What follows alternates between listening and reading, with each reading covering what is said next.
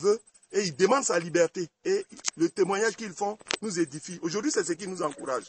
Quand même, pour des hommes sérieux que nous sommes, si aujourd'hui nous nous donnons à ce travail-là, c'est parce qu'on sait qu'il y a du sérieux. On est très, très, très, très, très utile au bon Dieu. Parce que ce travail que nous faisons, il est important. Et c'est Dieu seul qui donne la force au prophète Crasso, à travers le nom de Jésus, pour pouvoir exercer cela. Donc, euh, nous disons aujourd'hui aux dirigeants africains que ce, ce, ce combat-là, il mérite d'être mené dans tous les pays africains. Amen. Adapter les textes de loi à cette réalité. Parce que la science n'a jamais dit que, elle est, d'abord la science même, elle se présente en tant que euh, chose, comment ça, discipline modeste. Parce qu'elle explique, euh, n'est-ce pas, elle, elle essaie de nous faire comprendre les phénomènes de la nature. Elle nous explique les phénomènes de la nature, la science. Elle n'a jamais dit qu'elle était un tout. Et la science aujourd'hui, c'est qu'elle a pu découvrir ici l'homme et a pu démontrer ou encore expliquer pour permettre à l'homme de comprendre son corps physique, euh, pour, pour- comprendre, n'est-ce pas, son corps, c'est le corps physique. La science n'a pas encore pu démontrer ce que c'est que l'esprit. La science n'a pas encore pu démontrer ce que c'est que l'âme. Et la science n'a jamais dit que l'âme n'existait pas. La science n'a jamais dit que l'esprit n'existait pas. Donc soyons modestes. Nous qui ne savions pas ce que c'est que la science, soyons très modestes, nous les Africains surtout, pour que nous nous adaptions aux réalités que Dieu nous a confiées sur la terre, afin que nous puissions avancer. Merci, prophète. Ouais. Donc voici un peu les bâtiments. hein. Désormais, voici le, voici le nouveau site. Voilà. Voilà, il suffit de couvrir euh, ça, les bâtiments.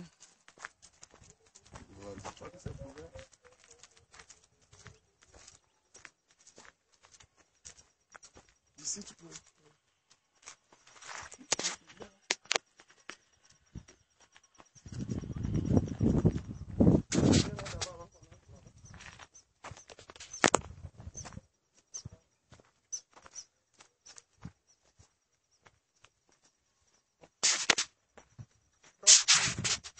Doucement, doucement comme ça, l'entrée du bâtiment. Tu montres en même temps la vie. Ouais. Et puis tu tournes, et puis tu montres ici les toilettes. Ouais. Là, c'est les toilettes. hein. Ouais, ça c'est ici les toilettes. Donc déjà, tout est prêt. Tout est déjà fait prêt. Fais, une vue panoramique ici. en fait. Ouais. Tu prends, voilà, tu tournes comme ça. Voilà. Tu prends le bâtiment. Ici, une fois que tout est nettoyé, là, on verra les choses. Oui, on voit les choses claires. Tu vois, tu prends là-bas, et puis tu tournes. En même temps, tu prends aussi la ville. Tu montres la ville de Dieu. Prophète, tu es, tu es parti loin. Oui, oui, oui. De là-bas, tu peux prendre la Si, si, si, si. Je voulais que tu vois. Oui, non, il peut. Tu tourner. Si, si, non, il, il fallait que je prenne ça comme ça. Comme lui, il ne peut pas zoomer. Il ne peut pas zoomer.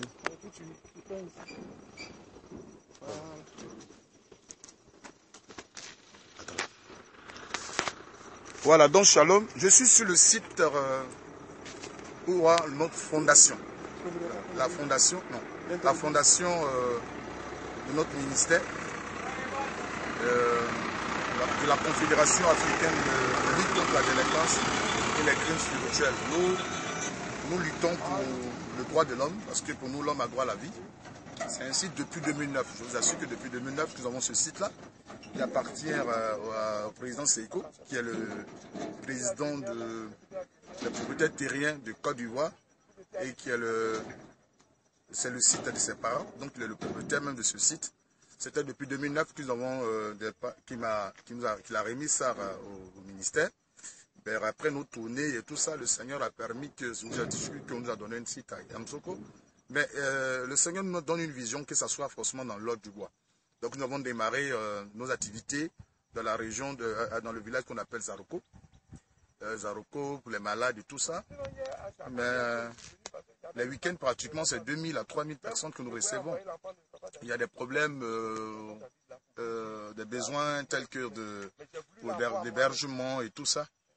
Nous avons pensé rapidement à, réhabiliter le site. Il faut refaire le site rapidement d'ici le mois de septembre pour que nous puissions démarrer. Parce que l'aura ici, euh, nous avons, euh, confronté à certains besoins, tels que des personnes qui viennent, qui sont délivrées de la sorcellerie et dont les parents ont les difficultés de les accepter.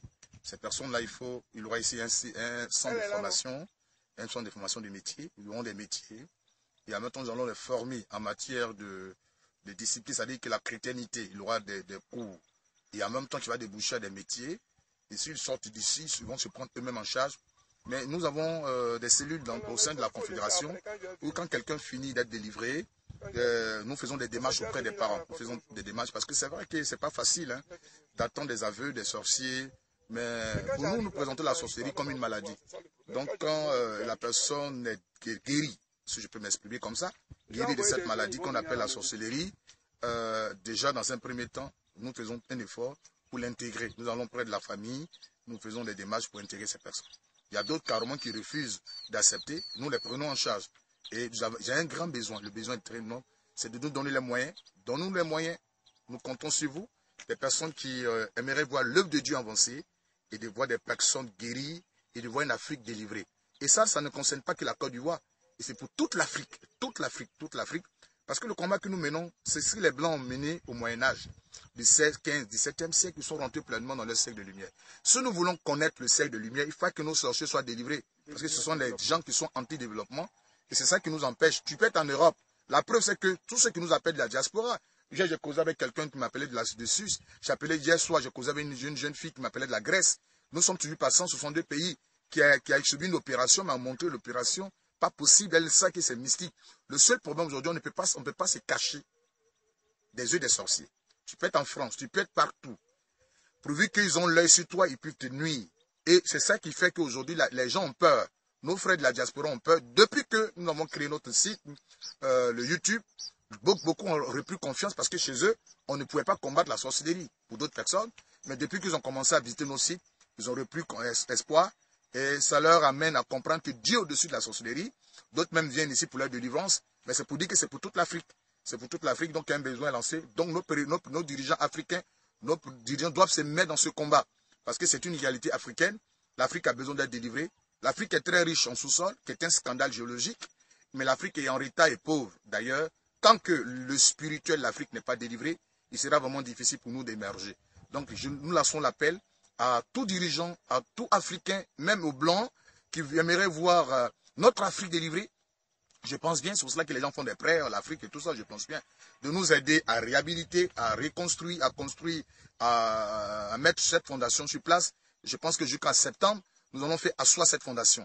Parce que déjà, avec le résultat que nous avons déjà de Zaroko, c'est un résultat positif. Je vous dis que j'ai un an, donc c'est un bilan. on, a fait le bilan.